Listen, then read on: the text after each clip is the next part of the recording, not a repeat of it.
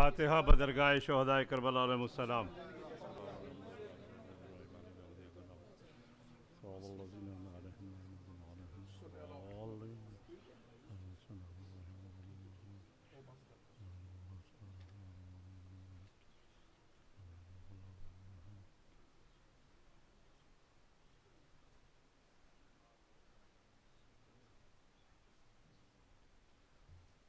بآواز بلند صلوات پڑھیے۔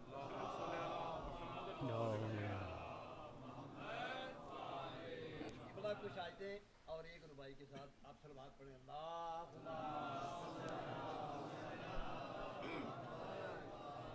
بسم اللہ الرحمن الرحیم۔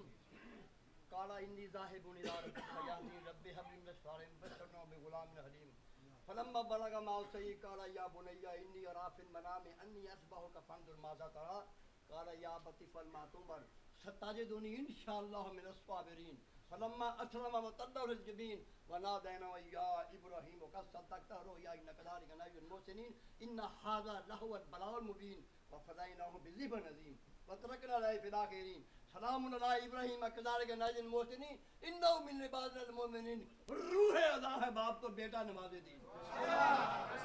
روح ادا ہے باپ تو بیٹا نماز دین. مسجد علی کی ہے تو مسلح حسین کا۔ کبریا کچھ تقسیم ہوئی اس طرح، کعبہ علی کا ہے تو عرش مولا حسین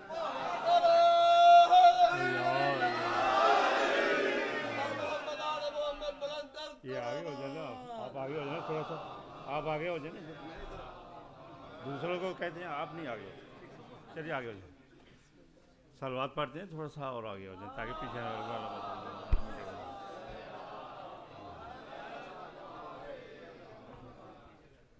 اعوذ باللہ من الشیطان الرجیم، بسم اللہ الرحمن الرحیم۔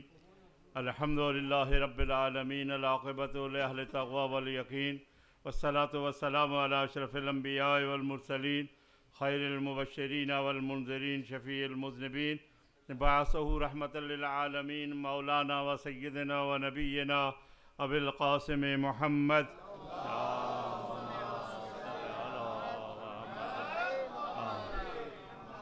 والہ طیبین طاہرین المعصومین المظلومین سیما علی امام المنتظر الحجت ثانی اشر روحی وارواح العالمین لہ الفداء ولعنت اللہ علی عادائہم ومعاندیہم وحاسدیہم من الآن الى قیام یوم الدین. اما بعد فقد قال قال رسول اللہ صلی اللہ علیہ وآلہ وسلم انی تارکن فیکم الثقلین کتاب اللہ و اہل بیتی ما ان تمسکتم بہما لن تزلوا بعدی و انہما لن یفترکا حتی یرد علی الحوض صلوات پڑھی واضح بلند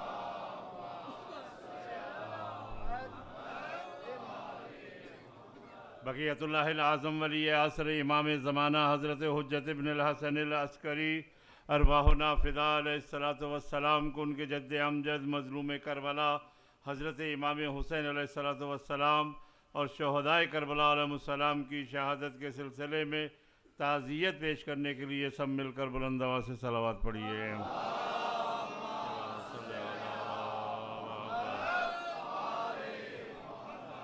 علماء علام مراج اعظام کی سلامتی کے لیے، اسلام کی بالادستی کے لیے، دشمنان اسلام کی ذلت و خاری کے لیے اور مومنین و مومنات کی پریشانیاں دور ہونے کے لیے، بے گھروں کے گھر کے لیے، بے زروں کے زر کے لیے، مقروضوں کے قرض کی ادائیگی کے لیے، مریضوں کی شفا یابی کے لیے، اور خصوصاً ایسے مریض جن کے متعلق مجھ سے التماس سے دعا کے لیے کہا گیا ہے۔ تو بہرحال یہ ہے کہ نام میں کسی کا نہیں، ایک دفعہ لاہور میں میں نے نام لیا کہ فلاں فلاں کے لیے آپ دعا فرمائیں تو مجھے ایک کہا گیا کہ مولانا آپ کو انہوں نے کتنے پیسے دیے۔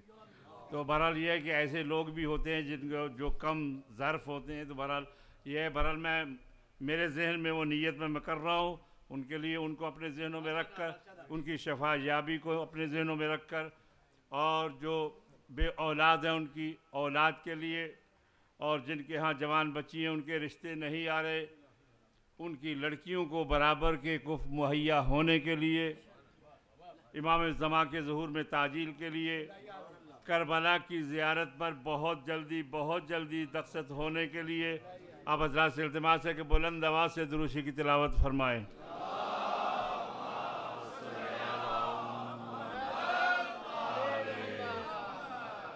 اللہم قل ولی اکل حجت ابن الحسن صلواتک علیہ وعلا بائی فی حاضر الساعة وفی کل سعاد ولیم وحافظ وقائد وناصر ودلیل وعینہ حتى تسكنه أرزك طوعا وتمتعه فيها طويلا حضرت امام زمانہ جل اللہ تعالیٰ فرج و شریف کے ظہور کے لیے آپ حضرات سے التماس ایک بلند آواز سے دروشی کی تلاوت فرمائیں۔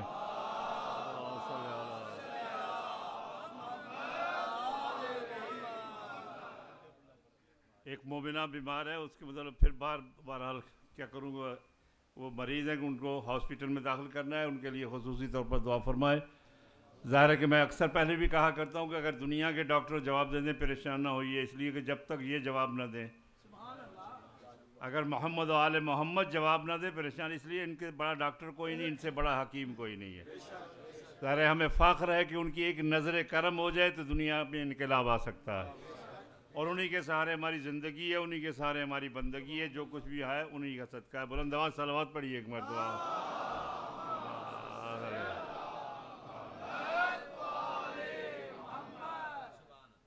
تو بہرحال یہ میں اس لیے مسلسل یہ فضائل اور یہ چیزیں بیان کر رہا ہوں تاکہ ہمارے بچوں کو، ہمارے نوجوانوں کے ذہنوں میں یہ محبت اہل بیت راسخ ہو جائے۔ اس لیے کہ معصوم کا ارشاد ہے کہ ادب اولادکم بحب علی ابن ابی طالب۔ اپنی اولاد کو ادب سکھاؤ محبت علی کے ساتھ۔ یاد رکھیے کہ اگر محبت علی اس کے ذہن میں راسخ ہو گئی تو پھر جہاں مرضی اس کو بھیج دیں، کچھ نہیں ہوگا۔ لیکن بات یہ ہے کہ یہ جو ممبروں سے آج کل تبلیغ ہو رہی ہے اور ممبروں سے جو باتیں ہو رہی ہیں، دل دکھتا ہے، حقیقت یہ دل دکھتا ہے کہ اتنے دروازے چھوڑ کر، اتنی محنتیں کر کے دنیا کے تانے بھی سہ کر اور اس کے بعد پھر اس دروازے پر آ کر بھی پھر یہاں سے کچھ نہ ملے۔ یہ عقیدہ اگر رکھیں تو پھر توفہ اس عقیدے پر۔ ظاہر ہے کہ یہاں سے اگر کچھ نہیں ملے گا تو پھر کسی جگہ سے کچھ نہیں ملے گا، یاد اب یہ دیکھیں، بات ظاہر ہے کہ جو ذہن میں ہوتی ہے نا، جتنا اس کا ذہن ہے، جتنا اس کا ظرف ہے، اتنا اس نے بولنا ہے۔ اور وہ بول کے بتاتا ہے کہ میں کتنے ظرف کا ہوں۔ جس طرح سے یہی یورپ میں ایک جگہ پر ایک مولانا تقریر کر رہے اور انگلش میں تقریر کر رہے تھے۔ انگلش والوں نے بہت خراب کیا ہمیں یاد رکھیے۔ انگلش والے ان کے سمجھ میں کچھ نہیں آتا، جو ان کے منہ میں آتا ہے بول دیتے ہیں، کہا کہ یہ زنجیر زنی جیسا گناہ کبیرہ ہے۔ اللہ یاد باللہ۔ گناہ کبیرہ، یاد رکھیے، یہ زنجیر زنی ہے، یہ کما زنی ہے، یہ جو کچھ بھی ہے، اس کا تعلق ہے عشق سے، یاد رکھیے۔ شریعت، یہاں اس کو ضرورت نہیں ہے کہ اپنا حکم لگا سکے۔ شریعت لگاتی ہے عقل مند کو حکم۔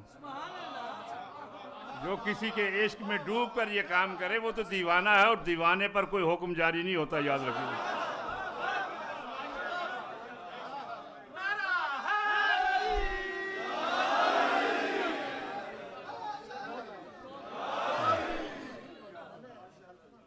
یعنی بڑے بڑے مجتہدوں، علماء اور مراج اظام سے جب پوچھا جاتا ہے اس کے متعلق تو وہ کہتے ہیں، از مادر حسین بھی ترسم۔ حسین کی ماں سے مجھے ڈر لگتا ہے۔ کہ میں عزاداری کے متعلق کچھ کہوں؟ کسی کو حق نہیں ہے، جس طرح سے بھی عزاداری کو کر رہا ہے، وہ حسین کی ماں جانے اور وہ جانے۔ بڑے بڑے علماء مجتہدین نے اس کے متعلق کچھ نہیں کہا۔ تو آج کل یہ نوجوان جو دو لفظ پڑھ کے ممبروں پر آ کر اس طرح سے بول رہے ہوں یعنی سوچتے بھی نہیں کہ کیا لفظ کہہ رہے ہیں یہ، کہ کس کس کے دل کو تکلیف پہنچے گی۔ کہاں تک یہ بات جائے تو اس لیے میں اپنا اولین فریضہ سمجھتا ہوں کہ ان چیزوں کو بیان کرنے کا۔ پکا مولانا، فضائل بہت سن لیے، ہم نے تھک گئے۔ اور فضائل بھی پرانے ہو گئے۔ وہی جنگ خیبر ہے، وہی جنگ خندق ہے، وہی جنگ بدر ہے، وہی جنگیں اور اس کے علاوہ۔ بھائی وہی قرآن ہے، وہی الحمد ہے، وہی سورہ کل اللہ ہے۔ وہی نماز سب کچھ وہی۔ وہی چیزیں جو ہم پہلے سے بچپن سے دیکھتے آ رہے وہی ہے۔ تو وہاں کیوں نہیں کہتے مولوی صاحب؟ آج سورہ الحمد کی جگہ کسی اور سورہ سنا دو ہمیں۔ مولانا کہیں گے سورہ الحمد کے بغیر نماز نہیں۔ تو اسی وجہ سے سورہ کل حوالہ جس نماز میں آپ چاہے پانچ ہاں پانچ، چھ نمازوں میں اگر آپ سورہ کل حوالہ کی تلاوت نہ کریں، تو وہ نمازیں آپ کی قبول نہیں ہیں۔ اور اسی وجہ سے جانتے تھے پیغمبر کہ بعد میں ایسے لوگ آئیں گے جو علی سے بھاگیں گے، ان کے فضائل سننا پسند نہیں کریں گے۔ تبھی تو مولا علی کو سورہ کل اللہ کی مثال قرار دیا کہ یا علی، تیری مثال اس امت میں ایسی ہے جیسے قرآن میں سورہ کل اللہ کی مثال ہے۔ یعنی ایک دفعہ سورہ کل اللہ کی تلاوت کی، ایک سلس قرآن ختم ہو گیا۔ دو دفعہ تلاوت کی، دو سلس۔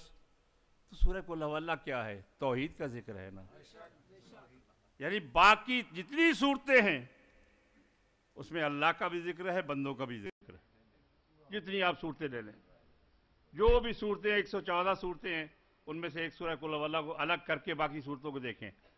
ہر صورت میں اللہ کا ذکر بھی ہے، اس کے بندوں کا ذکر بھی خالق کا ذکر بھی ہے، مخلوق کا ذکر بھی ہے۔ تو فقط یہی صورت ہے جس میں فقط خالق کا ذکر ہے۔ تو اللہ نے اپنے حبیب کے ذریعے علی کی تشبیح دی ہے اس صورت کے ساتھ، جس میں فقط خالق کا ذکر ہے۔ تو اللہ نے یہ کہہ کے اعلان کر دیا۔ کہ علی کو دیکھنا ہے تو میرے آئینے میں دیکھو۔ اور پھر علی۔ پھر علی۔ ہماری سمجھ میں آ سکتے ہیں۔ نہیں۔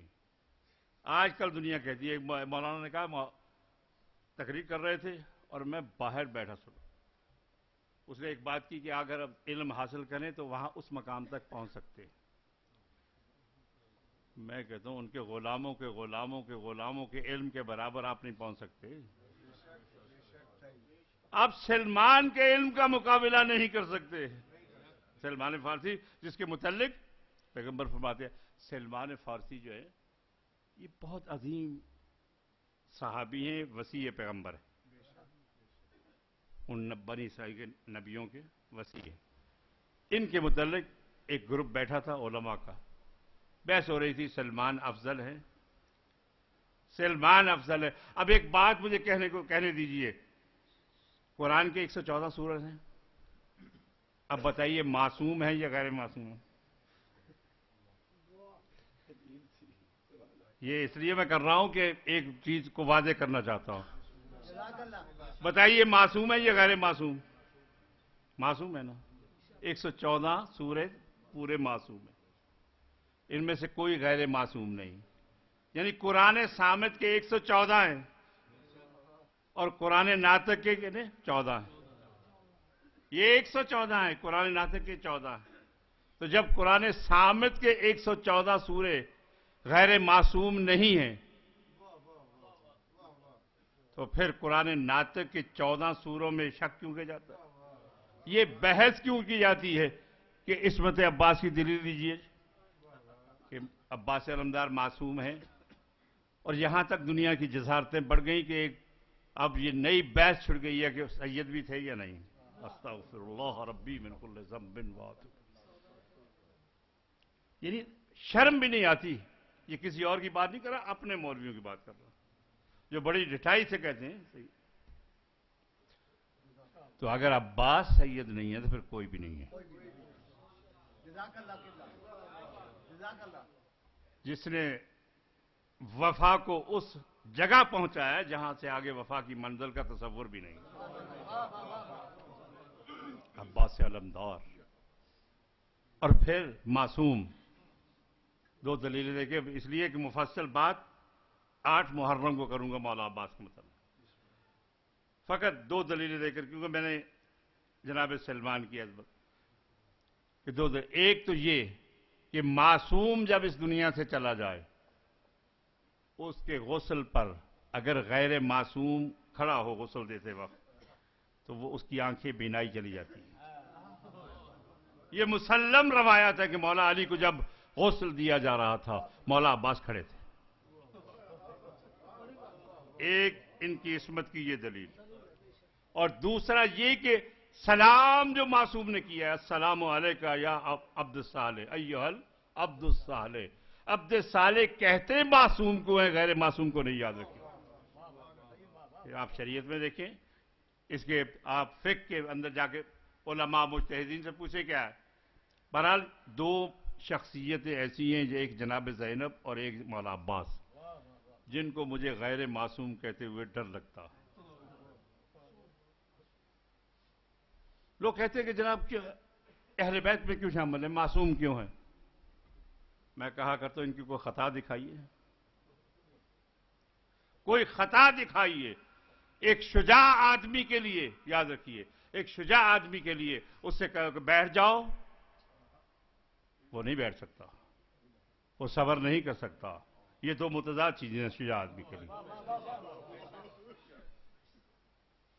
مولا علی نے بھی صبر کر کے بتایا کہ ہمارا کوئی فیل عادت کے مطابق نہیں ہے۔ اور عباس علمدار نے بھی صبر کر کے بتایا کہ جب کہا، بھیا، خیمے وہاں سے اٹھا لو۔ تو آگے سے یہ نہیں کہا کہ ابھی موقع ہے۔ جیسے حکم دیا، سر جھکا دیا۔ وہاں پیغمبر کے سامنے علی نے سر جھکایا۔ یا حسین کے سامنے عباس نے سر جھکا کے بتایا دنیا کو کہ اس سے زیادہ بھی اور دلیل چاہتے ہو عصمت کی؟ یعنی شجاع کبھی بھی صبر نہیں کرتا۔ شجاع آدمی ہے، اس کے سامنے ضرورت ہے کسی کی۔ آج اب تبھی تو جناب ام علیہ السلام نے کہا تھا، بیٹا، دیکھنا تیرے ساتھ کون کون ہے، ان سے خبردار رہنا۔ اب یہ علماء بیٹھے ہوئے تھے۔ بات ہو رہی تھی۔ اب بات کیا ہو رہی تھی کہ عباس افضل ہے یا سلمان؟ عباس افضل ہے یا سلمان؟ یہ بات ہو رہی تھی۔ تو اب آخر میں ایک بزرگ نے یہ کہا کہ سلمان افضل ہے اس لیے کہ پیغمبر نے ان کے متعلق کہا ہے کہ علم کا وہ کنارہ ہے جس کی کوئی حد نہیں، جس کا ساحل نہیں۔ یہ کہا مجلس برخاست ہو گئی، سب لوگ جا کے سو گئے۔ اب وہ بزرگ جس نے کہا تھا خواب میں دیکھ رہا کہ ایک محفل ہے نورانی، جس میں تمام انبیاء بیٹھے۔ انبیاء کے درمیان چہار تھا معصومین۔ اور وسط میں کہتے جب میں نے نگاہ کی تو غازی عباس علمدار تشریف فرما۔ کنارے پر کہتے میں نے دیکھا جناب سلمان فارسی کھڑے۔ تو جو ہی میری مجھ پر نگاہ پڑی نا جناب سلمان فارسی، تو کہتے غصے سے غضبناک حالت میں مجھے دیکھا۔ وہ کہتے تو نے کیسے ضرورت کی کہ مجھے غازی سے افضل کر دیا؟ تجھے کس نے ہمت دی کہ یہ لفظ تو نے منہ سے نکالا ہے؟ ایک مرتبہ جناب سلمان فارسی کہتے ہیں، محمدی کہتے ہیں، سلمان علی کہتے ہیں کہ یاد رکھ، اگر عباس پوری کائنات پر ایک نظر رحمت کر لیں، تو پوری کائنات سلمان بن جائے۔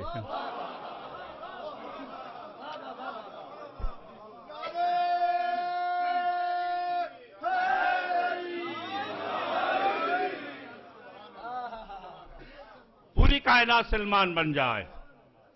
معمولی شخصیت نہیں ہے۔ ابا سے علمدار ذرا پکار کے دیکھیں۔ کبھی کسی پریشانی میں گھبرا کے جناب عباس علمدار کو پکارے۔ ظاہر ہے کہ عباس علمدار کو باب الحوائج اللہ نے لقب دیا۔ حاجتوں کا دروازہ۔ اور حاجتوں کے دروازے پر کوئی خالی واپس جائے تو یہ عجیب سی چیز لگتی ہے۔ آپ پکار کے دیکھیں۔ اور کئی واقعات ایسے جس میں عباس علمدار علیہ والسلام نے پیغمبر خدا سے یہ کہا، آقا یہ بات ہونی چاہیے، اگر نہیں ہو سکتی تو میرا لقب واپس لے لے۔ اللہ سے کہے، مجھے یہ لقب نہیں چاہیے، لقب ہے تو دنیا آئے گی۔ آج ایک دفعہ جی، یا باب الحوائج، یا کاشف الکرب انوجہ حسین علیہ السلام، ایک شکر بھی بحق عقیق الحسین علیہ السلام یہ پڑھ کے دعا کیجیے، کبھی دعا رد نہیں ہوگی۔ یہ مجرب عمل ہے ایک سو تینتیس مرتبہ، یا کاشف الکرب یعنی اے حسین علیہ السلام کے چہرے سے پریشانی کو دور کرنے والے۔ یعنی معمولی بات نہیں، اے امامت کے چہرے سے۔ حسین کون ہے؟ امامت کے چہرے سے پریشانی کو دور کرنے والے ایک شف کر بھی بحق کے عقی کل حسین علیہ السلام۔ میری پریشانی کو دور کر دے، تجھے حسین کا واسطہ۔ تو یاد رکھیے، کبھی حسین کا واسطہ دے اور بات مایوس کر دے۔ تو حضور دو قرآن، ایک قرآن سامت ہے، ایک قرآن ناطق ایک قرآن کے متعلق آپ کا اتنا خیال ہے۔ اب ایک بات قرآن کو آپ نے کیسے مانا؟ یہ اللہ کی کتاب ہے۔ الیکشن کے ذریعے۔ شورا کے ذریعے کس کے ذریعے مانا پیغمبر نے کہا صادق و امین نے کہا کہ یہ قرآن اللہ کی کتاب ہے تو آپ نے مانا تو جب پیغمبر نے کہہ دیا قرآن اللہ کی کتاب ہے تو پیغمبر نے بھی یہ کہا ہاؤلا اہل بیتی یہی میرے اہل بیت ہیں اور تبھی تو میں کہتا دنیا کیوں دور ہوتی جا رہی ہے حدیث قصا کو چھوڑ دیا لوگوں نے پڑھیے ذرا۔ اللہ ہاؤلا اہل بیتی۔ خاص کیا جملہ ہے۔ میرے خاص الخاص آدمی یہی ہے۔ اب حدیث کے ساتھ دو جملوں میں کہہ دوں کہ حدیث کے ساتھ ہے کیا؟ جس کو کہتے ہیں ہتھیلی پر سرسو جبانی۔ آپ پڑھیں، حدیث کے ساتھ اس کے بعد دعا مانگیں۔ اگر دعا رد ہو جائے، پیغمبر نے وعدہ کیا۔ ہے باقی دعاؤں میں اور اس حدیث کے ساتھ میں یہی فرق ہے۔ باقی دعاؤں میں دعا کی ضمانت نہیں ہے قبول ہونے کی۔ اللہ کی مرضی ہے قبول کرے یا نہ کرے۔ دعائیں مشرور پڑھ لیں اللہ کی مرضی ہے دعا قبول کرے یا نہ کرے۔ دعائیں مجیر پڑھ لیں اللہ کی مرضی ہے دعا قبول کرے، خدا یا نہ کرے۔ یہ اللہ کی مرضی ہے۔ کیونکہ آپ زبردستی نہیں کہہ سکتے کہ اللہ یہ بات کر۔ لیکن حدیث کے ساتھ وہ کیمیا ہے۔ پیغمبر فرماتے کہ جہاں یہ ہماری باتیں، گفتگو بیان کی جائے گی۔ اللہ اللہ جن کی باتیں مرضوں کی شفا بن جائیں۔ جن کی گفتگو مرضوں کی شفا بن جائے، دردوں کی دوا بن جائے، وہ ہستیاں کتنی بلند ہوگی؟ ہم تصور بھی نہیں کر سکتے۔ اور تبھی تو میں کہا کرتا ہوں کہ لا یقاس و بنا احدن، اپنے آپ پر ہمارا قیاس نہ کرنا۔ یہ نہ سوچنا کہ وہ بھی ہماری طرح۔ اب دیکھیں، لے کہتے جناب، ہماری طرح چلتے تھے۔ ہماری طرح ان کا جسم تھا۔ بھئی آپ کے جسم پر کبھی سلام آیا ہے؟ آپ کے جسم پر کبھی سلام ہے؟ آپ زیارت پڑھیں۔ وَعَلَىٰ أَجْسَادِكُمْ وَعَلَىٰ أَرْوَاحِكُمْ وَعَلَىٰ أَجْسَامِكُمْ۔ آپ کی روحوں پر ہمارا سلام۔ ہم آپ کے جسموں پر ہمارا سلام۔ آپ کے اجساد پر ہمارا سلام۔ جسم اور جسد۔ بولا، اجسامکم اجسادکم، جسدوں پر ہمارا سلام، جسموں پر ہمارا سلام۔ اور یہاں پر جسد بدن کو کہتے ہیں، جسم لفظ۔ پیغمبر اسلام نے جو کہا نا، انی اجزو فی بدن ازوفا بدن اور جسد ایک ہے۔ پیغمبر نے یہ نہیں کہا کہ میں اپنے جسم میں کمزوری محسوس کر رہا ہوں۔ نہیں، میں اپنے بدن میں کمزوری محسوس کر رہا ہوں۔ یعنی ایک بدن، ایک جسم جسم جسم جو ہے گردن سمیت پورے بدن کو کہتے ہیں، جسم کو، یہ شکل کو کہتے ہیں۔ اور بدن جو ہے گردن سے، یہاں سے لے کے نیچے تک۔ اس کو بدن کہتے ہیں۔ تو پیغمبر نے ایک مسئلہ اس میں واضح کی ہے حدیث کے سامنے کہ یاد رکھو، نبیوں کے بدن میں کمزوری آ سکتی ہے لیکن دماغ میں نہیں۔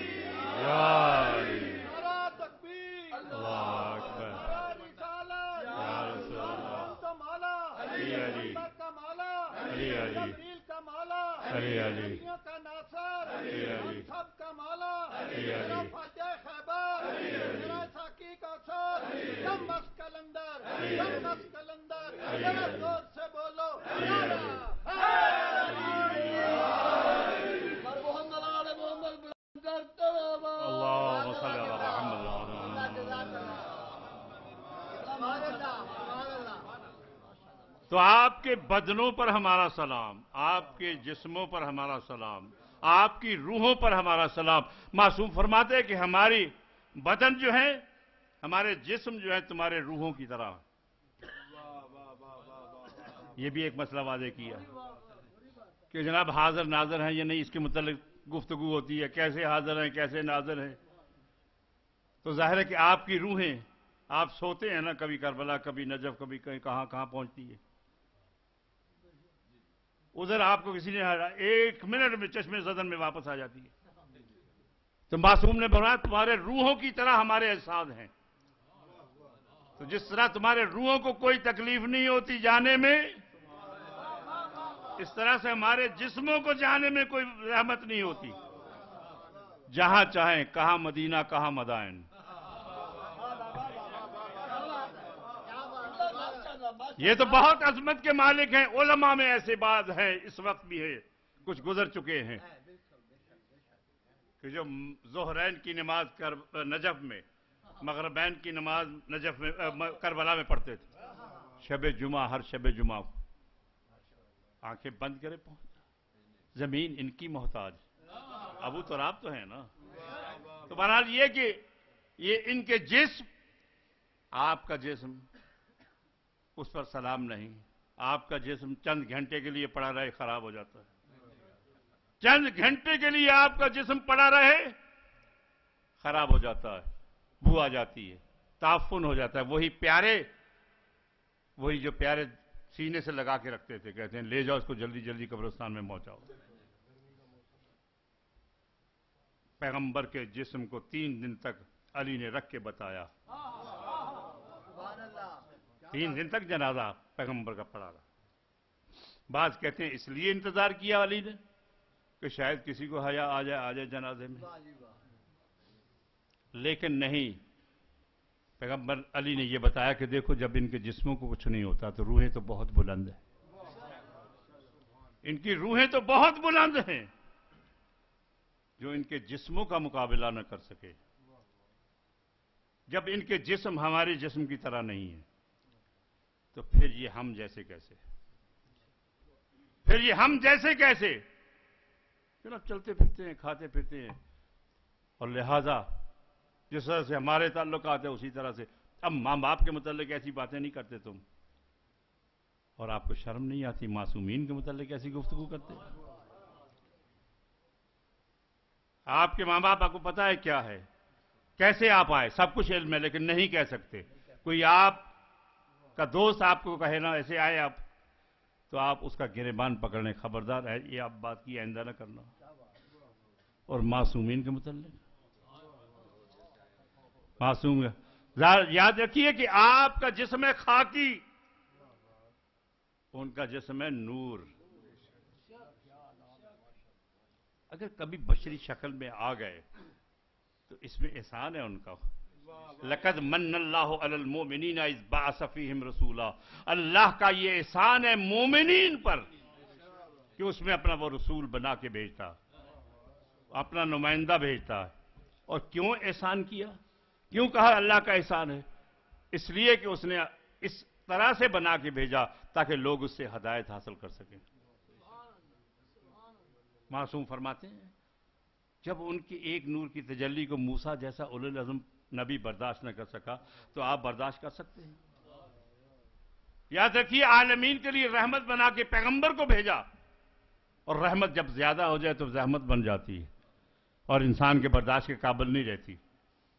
تو یاد رکھیے، دنیا میں آپ نے دیکھا جب بجلی چلتی ہے مرکز سے، تو اس کے بعد ٹرانسفارمر جگہ جگہ لگا جاتے ہیں، تاکہ بجلی کی طاقت کم کرتے کرتے کرتے کرتے وہ شہر تک پہنچے۔ اگر ڈائریکٹ بجلی شہر میں پہنچ جائے تو کوئی شہ باقی نہ بچے۔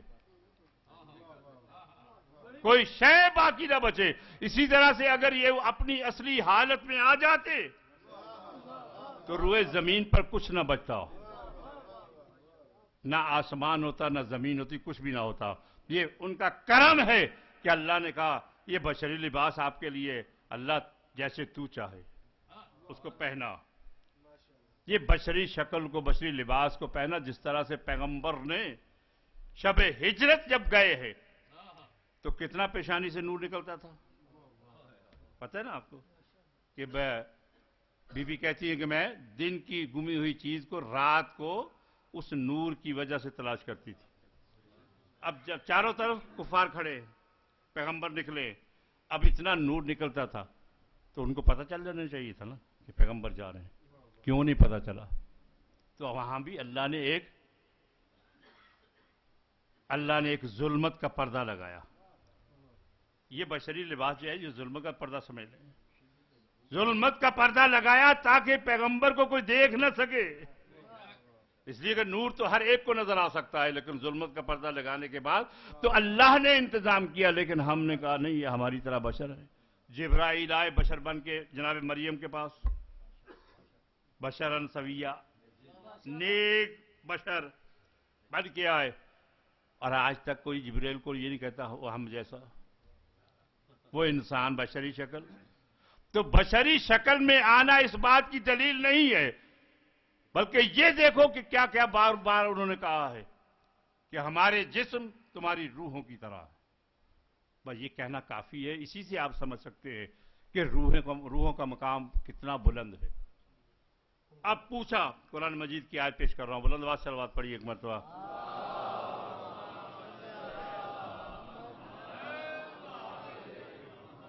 میرے حبیب، یہ مسلمان تیرے پاس آتے ہیں، کہتے یس الونا کا روح یہ تجھ سے سوال کرتے روح کیا ہے؟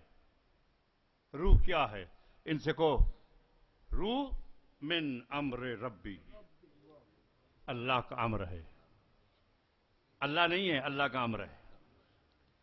ظاہر ہے کہ یہ جیسا کہتے ہیں نا کہ اللہ جو ہے نا کن فیقون اللہ جو کہتا ہے کن فیقون جو چیز کن ہو جا، وہ چیز وجود میں آ جاتی ہے۔ یاد رکھیے، اللہ کن کا بھی محتاج نہیں ہے۔ اور میں کہا کرتا ہوں، اللہ کے یہ بندے جو ہیں، یہ بھی کن کے محتاج نہیں ہیں۔ یہ بھی محتاج ہے کن فیقون تو کل کل روح من امر ربی۔ کہہ دو، یہ روح جو ہے امر ربی۔ اب اللہ کا امر کیا ہے؟ اللہ کا امر کیا ہے؟ اللہ کا امر یہ ہے کہ جب وہ کسی شے کا ارادہ کرتا ہے،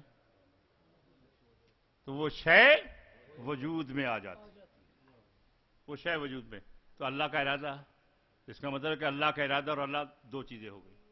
اللہ میں دوئیت نہیں ہے، یاد رکھیے۔ اللہ میں دوئیت نہیں ہے، اس کا ارادہ این ذات ہے۔ یہ ارادہ اس کے بندے کرتے ہیں۔ آپ کے سامنے کیا کہا امام رضا علیہ السلام نے؟ کن اسدن۔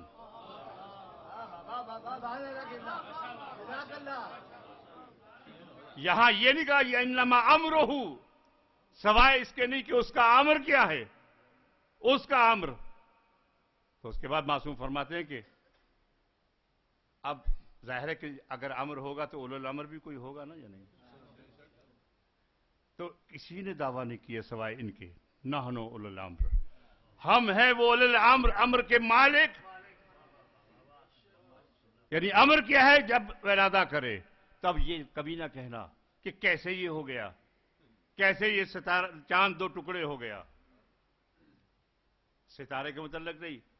اب وہاں پر علی علیہ السلام نے جب دو سے رسالت پر سوار ہوئے، تو جب نیچے اترے ہیں، تو کہا چوٹ تو نہیں آئی۔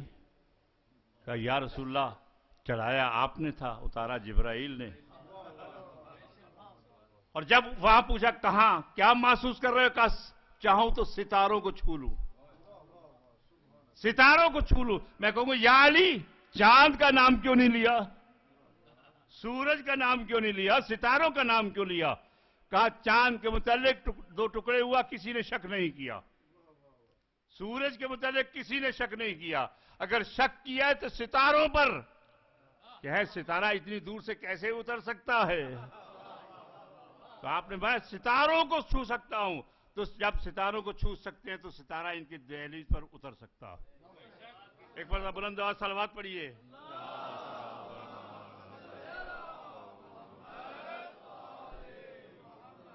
تو اللہ کا عمر کیا ہے؟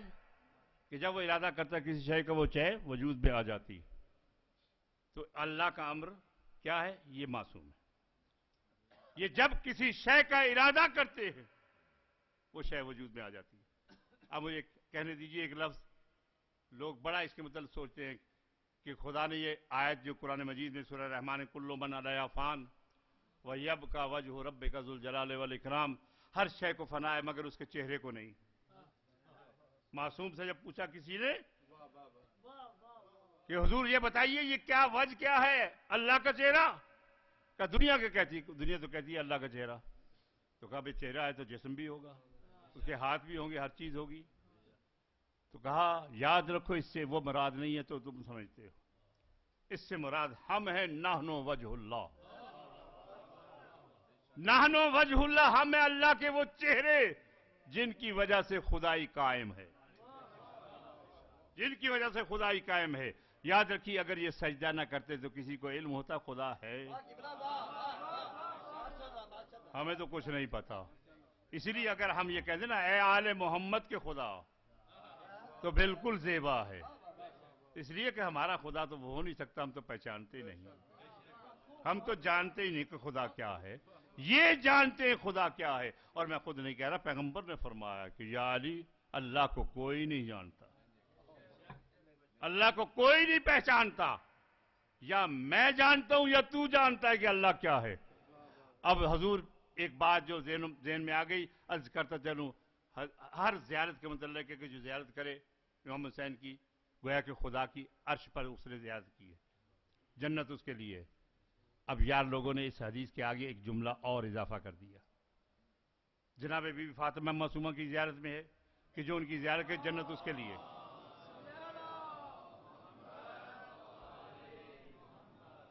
جنت اس کے لیے فلاح الجنہ۔ جنت اس کے لیے۔ امام رضا علیہ السلام کے متعلق ہے، فلاح الجنہ۔ اس کے لیے جنت ہے۔ سب زیارتیں آپ پڑھیں، ان میں حدیثیں پڑھے معصومین کی، وہ یہی ہے، جنت ان کے لیے۔ کسی جگہ یہ نہیں لکھا کہ جو ان کی زیارت کرے۔ معرفت کے ساتھ، جو معرفت کرنے کا حق ہے، جنت اس کے لیے۔ اب یہ کہا، جناب، وہ معرفت کے ساتھ جو زیارت کرے، جو حق ہے معرفت کا، یاد رکھیے کما حق کو معرفت کسی کو ہو نہیں سکتی۔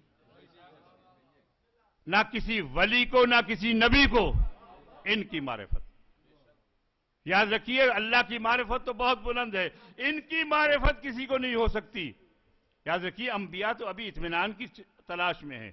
جناب ابراہیم کہتے پروردگار مجھے دکھا، تو مردوں کو زندہ کیسے کرتا ہے؟ تو خدا نے کہا، ابراہیم، اطمینان نہیں، یقین نہیں؟ کہا، یقین تو ہے، لیکن دل کو مطمئن کرنا چاہتا ہوں۔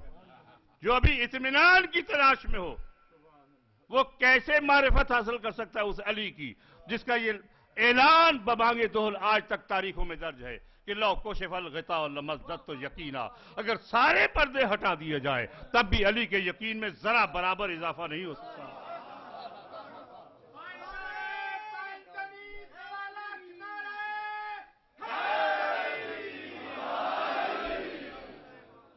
تب بھی ذرا برابر اضافہ نہیں ہو سکتا۔ اب ان کا انبیاء سے مقابلہ۔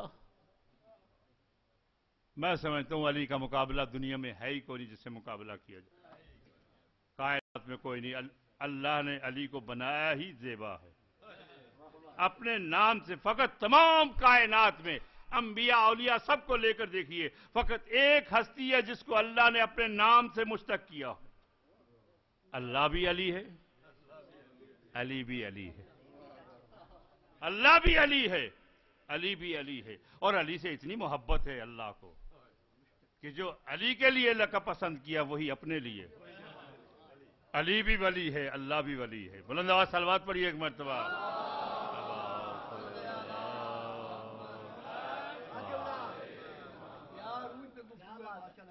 اللہ بھی ولی ہے اور علی بھی ولی ہے۔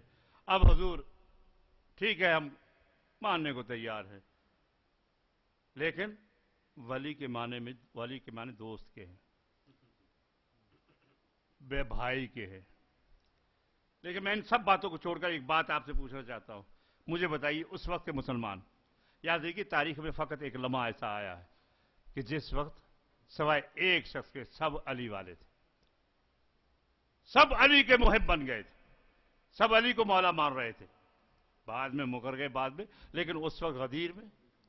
یہ ایک لمحہ ایسا آیا ہے تاریخ اسلام میں کہ جس وقت کوئی علی کا دشمن نہیں تھا، سوائے ایک کے جس کو عذاب ہوا۔ تو میں آپ سے پوچھنا چاہتا ہوں، وہاں جو ہے، غدیر خم میں یا نبی کے زمانے میں لوگوں نے کیا سمجھ کے مانا علی کو؟ بھائی سمجھ گئے۔ چل جی آپ جو کہہ رہے ہیں بھائی، تو بھائی سمجھ کے مانا۔ بھائی چارے کی رسم جو ہے نا، بہت پہلے ہو چکی تھی۔ پیغمبر بھائی بنا چکے تھے، بہت پہلے ہو چکا تھا یہ بھائی اتنا اہتمام بھائی کے لیے۔ ممبر بنایا، تین دن تک روکا۔ اور کانٹے دار جناب نیچے سے کانٹے بھی چھپ رہے تھے بیچاروں کو۔ اوپر سے سر بھی صاف تھے، ماشاءاللہ، بالکل صاف۔ صاف تھے اور اوپر سے دھوپ بھی پڑ رہی تھی۔ ایسے عالم میں وقت کہنا تھا کہ علی میرا بھائی ہے۔ یعنی اس وقت سے نا یہ بھائی نہیں کہہ رہے تھے، دوست کہہ رہے تھے۔ بخدا اس زمانے میں، غدیر خم میں، نہ کوئی علی کو بھائی سمجھ رہا تھا، نہ کوئی دوست سمجھ رہا تھا۔ وہ اپنا حاکم سمجھ رہا تھا۔ وہ اپنا حاکم سمجھ رہا تھا۔ اور اگر یقین ابن حجر مکی بہت بڑے عالم دین ہے گزرے، جنہوں نے ایک کتاب لکھی ہے ہمیں جلانے کے لیے۔ جلانے والی بجلیاں، سوائے کے مور۔ ہاں جلانے والی بجلیاں، سوائے کے مور کا۔ یہ کہتے ہیں کہ ایک دو دیہاتی آئے قاضی کے پاس۔ اس زمانے میں عدالتیں مسجد میں لگتی تھی مسجد میں عدالتیں لگتی تھی مسجد میں آئے۔ قاضی بیٹھے تھے وہاں۔ اور مولا کائنات بھی تشریف فرماتے مولا کائنات بھی تشریف فرماتے وہ آئے اور ان کا جناب ہمارا یہ فیصلہ ہے، فیصلہ کرو۔ تو قاضی کہتا ہے اگر علی موجود ہے نا، تو پھر میری ضرورت نہیں، میں فیصلہ کروں۔ علی سے کراؤ۔ اب ان کو پتہ نہیں تھا علی کا۔ کہتے بھائی آپ کے ہوتے ہوئے اس کی کیا مجال کے فیصلہ کر سکے؟ جب اس نے کہا نا تو حاکم نے فوراً وہ جو قاضی نے گردن کو پکڑا، کہا تمہیں معلوم نہیں یہ کون ہے؟ یہ ہر مومن اور مومنہ کا مولا ہے۔ ہر مومن اور مومنہ کا مولا ہے۔ اور اگر تم مومن ہو تو تمہارا بھی مولا ہے۔ تمہارا بھی مولا ہے، اگر مومن نہیں تو پھر میں کچھ نہیں کہتا۔ اگر مومن ہو تو تمہارا بھی مولا ہے۔ تو اب یہاں پر جو اس نے اہتمام کے ساتھ، عجیب بات ہے، جس کو بھی سمجھانا چاہا ہے نا، جبرائیل نے آگے سمجھایا یا قاضی نے سمجھایا، اس نے گردن سے ہی پکڑا ہے۔ پھر بھی لوگوں کو یقین نہ آیا۔ پھر بھی لوگ بھول گئے علی کو۔ اور افسوس تو یہ ہے کہ اپنوں نے بھی فضائل چھپائے علی کے۔ غیروں نے بھی چھپائے، پیغمبر نے بھی چھپائے۔ پیغمبر نے کیا کہا تھا جملہ؟ یا علی، اگر مجھے ڈر نہ ہوتا، جو عیسیٰ کے بارے میں لوگوں نے کہا تھا، میں تیرے وہ فضائل بیان کرتا، دنیا کو پتا چلتا۔ یا رسول اللہ، آپ نے تو کچھ نہیں بیان نہیں کیا۔ آپ کی نگاہ میں تو آپ نے بہت کم بیان کیا اتنے کم بیان میں علی پر علی پر خدائی کا شبہ ہو گیا۔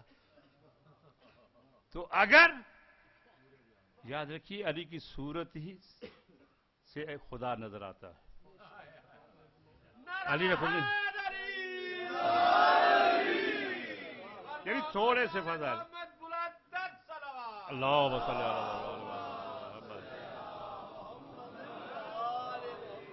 یعنی تھوڑے سے فضائل سے خدائی کا شبہ ہو گیا۔ اگر سارے فضائل بیان ہو جاتے جس طرح سے پیغمبر علی علیہ السلام مسجد کوفہ میں خطبہ دے رہے ہیں اور بیان کر رہے ہیں کہ جب آدم کا خمیر بنا میں موجود تھا میرے میرے دونوں ہاتھوں میں بیان کر رہے سارے فضائل اپنے۔ یہ آسمان میرے سامنے بنا، زمین میرے سامنے بنی، یہ اس طرح سے سارا یہ بیان کرتے کرتے ایک شخص جو ہے کوفے کا کھڑا ہوا۔ اور علی علیہ السلام کو کہتا ہے، یا علی، یہ کوفہ ہے، مدینہ نہیں۔ سنیے غور سے بات۔ بڑی یہ آخری بات ہے اس کے بعد اپنے مطلب پر آ رہا ہوں۔ بڑی عجیب سی بات ہے شاید اس سے پہلے آپ لوگوں نے سنی ہو کہ یا علی یہ کوفہ ہے مدینہ نہیں۔ ذرا سمجھ کے بات کیجیے ایسی ایسی ہوا میں باتیں نہ اڑائیے۔ کوئی یقین نہیں یہاں کرے گا۔ علی علیہ السلام نے اس کی طرف دیکھا۔ تو ایک فکرہ کہا مولا نے ہیں آج ایسا وقت آ گیا۔ کہ کتے بھی علی کو بھونک رہے ہیں؟ یعنی عجیب بات۔ مولا نے یہ نہیں کہا کتا ہو جا۔ مولا کا یہ جملہ کہ وہ وقت آ گیا کہ علی بھی، علی کو کتے بھی بھونک رہے ہیں۔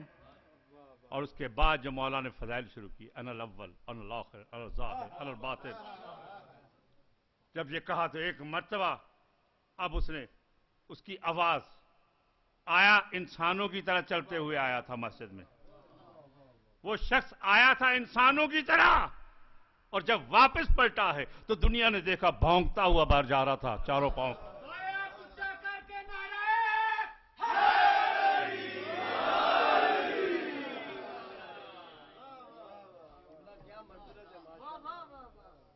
مولا علی۔ یا علی، آپ کو جو پکارے، جس گھڑی پکارے، جہاں پکارے، آپ پہنچتے۔ ہیں آئیے، آج بچے اللہ تش کی صدائیں بلند کر رہے ہیں، آئیے۔ عزتاران مظلوم کربلا، شب عاشور۔ میرے مولا نے کچھ حصوں میں تقسیم کیے۔ ایک میں اللہ کی عبادت، ایک میں مقتل کی طرف گئے۔ ایک حصے میں آپ نے خیموں کو دورہ کیا۔ ایک ایک خیمے کو نگاہ کیے۔ کسی خیمے میں گئے۔ دیکھا ایک ماں ہے، جھولے میں بچہ ہے۔ اور ایسے لگتا ہے بچہ ختم ہو چکا ہے۔ ماں کہہ رہی بیٹا اصغر، کل قربانی کا دن ہے بیٹا۔ مجھے پتا ہے تو چل نہیں سکتا۔ مجھے پتا ہے تو بول نہیں سکتا۔ بیٹا، کل قربانی کا دن ہے۔ جب تیر لگے نا بیٹا، ماں کے دودھ کی لاج رکھ لینا۔ بیٹا، تیر آئے تو تیر کھا کے رونا، نہیں مسکرا کے دنیا کو رولانا امام نے دعا خیر دی، آگے بڑھ گئے۔ ایک خیمہ آیا، دیکھا دو بچے بٹھائے ہوئے، ایک ماں بیٹھی ہے۔ بچوں، کل قربانی کا دن ہے۔ اپنی ماموں پر اپنی جان نثار کر دینا بیٹا۔ اچھا، حضرت آج ان شہزادوں کا تذکرہ ہے جو جناب زینب کے نور نظر ہیں۔ ایک فکرہ کہا کرتا ہوں، علی کی بیٹی کا ایک لقب ہے شریکت الحسین۔ حسین کی شریک بہن۔ مدینہ چھوڑا، حسین نے، زینب نے ساتھ چھوڑا۔ مکے میں بندے ہوئے احرام توڑے، جناب زینب نے بھی ساتھ۔ کربلا پہنچے، زینب بھی ساتھ۔ علی کی بیٹی بھی ساتھ۔ یہاں تک کہ پانی بند ہوا، اگر حسین پیاسے ہیں تو علی کی بیٹی بھی پیاسی ہے۔ اور یہاں تک بات ختم نہیں ہوئی۔ اگر حسین نے بیٹے قربان کیے، تو جناب زینب نے بھی بیٹوں کو قربان کیا۔ فرق اتنا ہے۔ علماء مقاتل بیان کرتے ہیں کہ حسین نے بیٹے قربان کیے لیکن آپ کی نسل باقی ہے آج تک۔ لیکن زینب نے اپنے بیٹوں کو قربان کر کے نسل بھی قربان کر دی۔ اچھا، ازدرو آج دل کھول کر ماتم کیجیے اور علی کی بیٹی کو پرسا دیجیے کہ بی بی، آپ نے ماتم نہیں کیا اپنے بچوں کا۔ آج ہمیں اپنا بچہ سمجھ لیں آج آپ کے بچوں کا ماتم ہم کریں گے۔ حضرت و جناب زین فرما رہی بیٹوں ماموں پر جان قربان کر دینا اور دیکھنا سب سے پہلے جانا۔ بچے بھی ہاتھ جوڑ کر کریں، اماں، کل وقت آنے دے۔ اپنے دادا اور نانا کی اگر جنگ یاد نہ آ جائے تو اماں، اپنا دودھ معاف نہ کرنا، دودھ نہ بخشنا۔ اما کل جعفر تیار کا نقشہ دنیا کے سامنے آ جائے گا۔ ان کے پوتے ایسا جنگ کریں گے۔ رات گزر گئی۔ دن آیا۔ اصحاب قربان ہوئے۔ حبیب گئے۔ جون گئے۔ زہیر گئے۔ وہاں پہ کل بھی شہید ہو گئے۔ جب کوئی باقی نہ رہا۔ اب علی اور اولاد علی کے دلارے تھے اور دشمنوں کی تلواریں تھیں۔ حضرت علماء مقاتل کے بیان کے جب علی اکبر شہید ہو چکے اور چند آئزہ شہید ہو چکے تو ایک مرتبہ دیکھا کہ جناب زینب نے کہ بیٹے ایسے پھر رہے ہیں، زندہ پھر رہے ہیں۔ کسی کو بھیجا، جاؤ میرے بچوں کو بلا کے لاؤ۔ اور بچوں کو بلا کے لائے۔ جناب زینب کے سامنے ساتھ جھکا کے کھڑے ہو گئے بچے۔ بی بی کہتی ہیں، بیٹو، رات کی تقریر کا یہی اثر ہوا۔ کہ علی اکبر تو قربان ہو گئے اور کتنے آئزہ شہید ہو چکے۔ تم کیوں نہیں جا رہے اپنے ماموں پر اپنی جان نثار کرنے کے لیے؟ ہاتھوں کو جوڑ کر کہتے ہیں، اماں اماں، آپ چھوٹے ماموں سے پوچھ لیجیے۔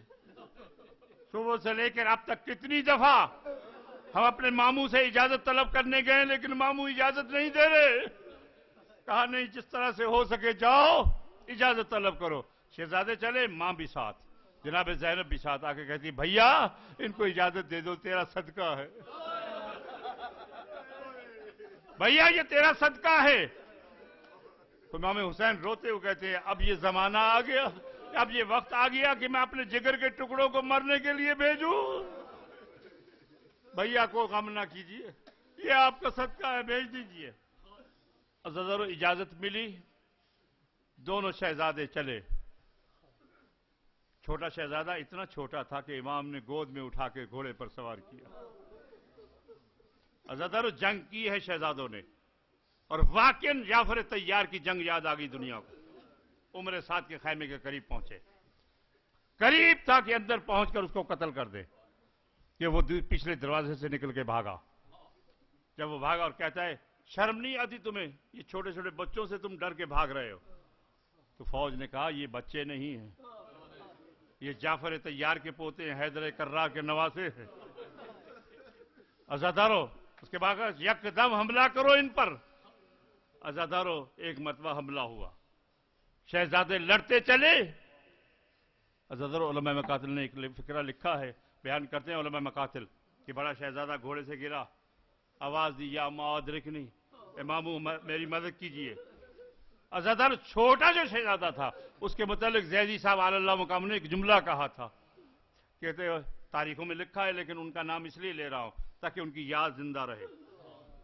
انہوں نے فرمایا کہ جب چھوٹا شہزادہ گھوڑے سے گرا ہے، تو اتنا کم سن تھا۔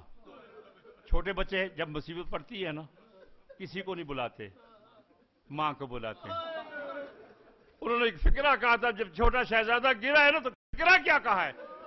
میرے اے مامو میری مدد کرو۔ نہیں، بس فکرہ زبان سے یہ نکلا۔ اممہ میں گر گیا۔ اممہ میں گر گیا۔ اچھا طرح یہ آواز آئی۔ امام حسین چلے، مولا عباس چلے۔ بچوں کی لاشیں اٹھائی۔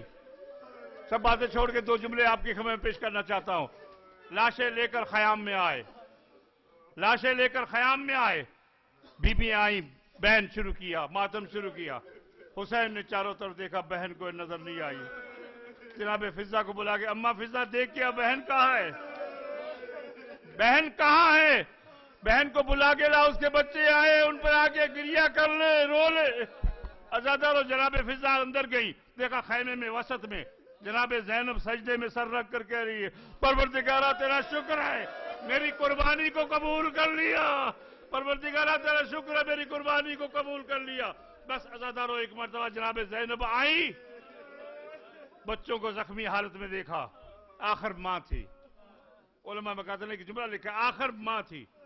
ازادر ایک مرتبہ دیکھ کے کہتی، بیٹو، ذرا اٹھ کے میرے سامنے کھڑے ہو کر۔ ایک مرتبہ پھر ہاتھوں کو جوڑ کر وہی فکرہ کو اممہ ہمارا کوئی قصور نہیں مامو ہمیں اجازت نہیں دے رہے۔ بیٹو، میں تم سے بہت راضی ہوں۔ اور ایک مرتبہ بھائی کی طرف خطاب کر کرتے ہیں بھائیہ آپ آنسو نہ نکالیں، یہ آپ کا صدقہ ہے۔ ازاداروں علی کی بیٹی نے اپنی نسل بھی قربان کر دی۔ آج ماتم کیجیے اور یہ کہہ کر کیجیے کہ علی کی بیٹی، آج کوئی نہیں جو آپ کو ماں کہے۔ ہم ماں کہے کہ آپ کی بیٹوں کا ماتم کریں گے۔ یا حسین!